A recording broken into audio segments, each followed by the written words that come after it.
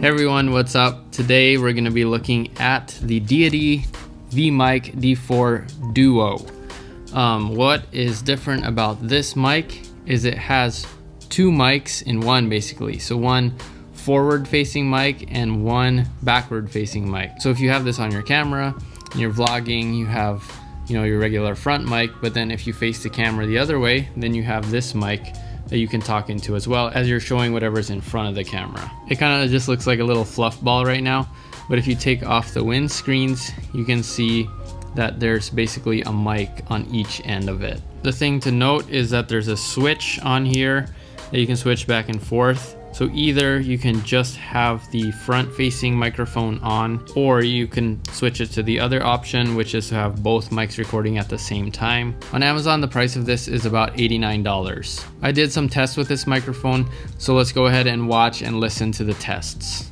Okay here's a test if you're someone that vlogs that likes to turn the camera around and then show what's in front of them. Here's some bikes, here's our names. Here is our kitchen there's Hannah, she's working over there. So how does it sound when I'm switching back and forth like that? And I'm showing around. So then, you know, I have this mic in the back, so hopefully you can hear me well. Here's Hannah working over here. And yeah, that's it. How does it sound when I'm flipping back and forth like that? Is the audio pretty consistent when I flip back and forth? Like this. So how does it sound right now? Here's my little workspace. It's a bit messy right now. So is that something that's going to be really helpful for you if you're someone that likes to, you know, flip the camera around and show and talk a lot about what's in front of the camera? That's when this mic is going to be really helpful for you. All right, I'm going to do a quick wind test here with the fan um, because when we went out and tested this, it seemed like it wasn't really blocking the wind that much and actually made the audio pretty unusable. Sa wedding decor, konti lang naman. Hindi ko alam kung bakit parang nahihirapan siya, oh, di ba? Eh. Ayan ang make park. Konti lang yung tao. So I'm going to test it again here to see if that's also the case. So I'm going to turn on the fan.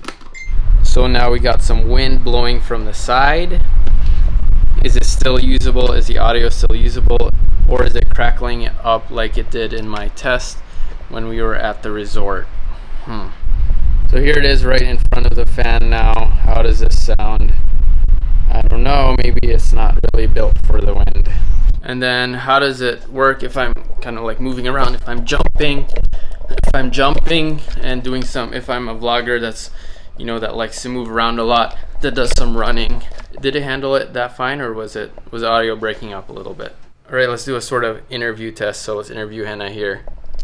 All right, interviewing Hannah. So I'm the interviewer here on the back side. Hannah, what did you eat for breakfast today? I ate sausage with um, scrambled egg inside with one uh, a piece of bread. What else do you want to say to the world? Ano, random. Just keep mm -hmm. swimming. Just keep swimming. So this could be a helpful tool if you're gonna be interviewing people, you know, just like on the street, you're vlogging, you wanna talk to someone, and then you're behind the camera.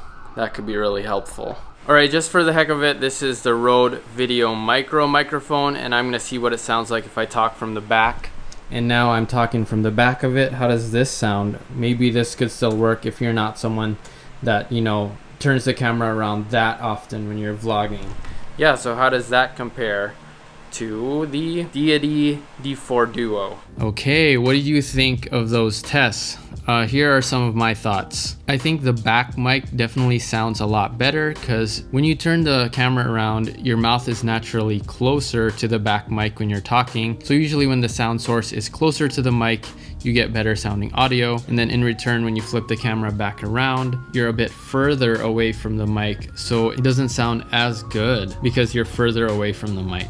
The levels on the back mic are lower as well than the front. And I think they did that because they know your mouth is gonna be closer to the back mic when you're talking into it when the camera is facing away from you. The overall audio quality, I thought it sounds really clear and I think definitely you can improve it with some EQ but right out of the box it doesn't sound bad I think it sounds pretty good when you're recording from both mics at the same time Basically it records onto one audio track and then basically it splits the mic up into left and right channels. So what you have to do when you're editing is you have to split that stereo track into two mono tracks so that you have separate tracks for the front and the back mic. So that's something to know is you're gonna have to do some extra post processing when you're gonna be utilizing both mics at the same time.